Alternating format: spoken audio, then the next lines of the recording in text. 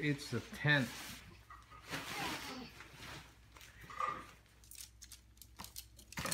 What's this?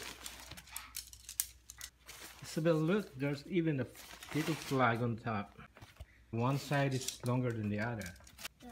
So there are four tabs, these black tabs here around the tent. There is a pocket inside. I don't know if you can see it. There's a pocket there. That's where you insert the pole. There you go. Okay, so the other end goes here on the top. There are also pockets. There's a string here where you can tie it to make it stay steady on this uh, side of the uh, tent. And we're gonna do on same thing on all four sides. So this is the inside. Two windows. A roof. So this elbow thing is supposed to be up here, so we put the wrong side on the bottom.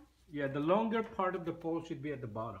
And this, so we changed it, and this is how it's supposed to look. Okay, so I rolled the door up, and then there's like a little thing here, and A two string? strings here, Mhm. and you tie them together, and then you can just untie this, and roll it down, and there's three pieces of Velcro here, and three pieces of Velcro here, and there's a clothes that you just put.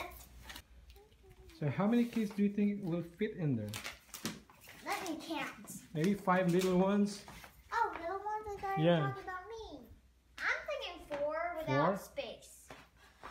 Okay. Four? No, five without space. Mm-hmm.